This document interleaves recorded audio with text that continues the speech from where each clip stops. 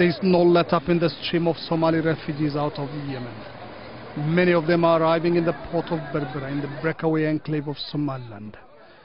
At a makeshift camp in Berbera town, some of the refugees wait to be transported home. It's the first time Abu Bakr Mukhtar has set foot in Somalia since he fled the war in 1991. He says he had no intention of returning home. There were airstrikes in our area. Many people died.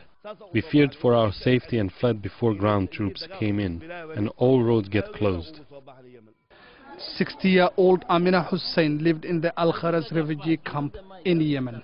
She breaks down when we asked about her journey back to Somalia.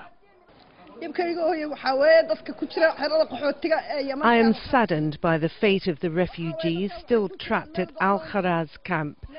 They have been abandoned by the UN and the aid agencies and have little food and water. They've also no money to pay for the journey back to Somalia. Most of the refugees say they're eager to go back to their towns and villages in southern Somalia where they fled from initially due to the Somali civil war. It's only those who don't have anywhere to go back to who will remain in this temporary camp. Aid agencies say there are now plans to build a proper refugee camp to house Yemenis seeking asylum in Somalia and Somalis unwilling to return to their hometowns. The crisis in Yemen has also affected trade with Somalia.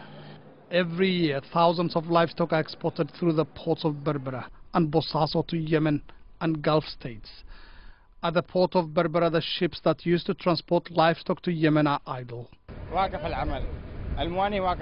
Work has stopped. All Yemeni ports are closed. We've been in Berbera for the last one and a half months.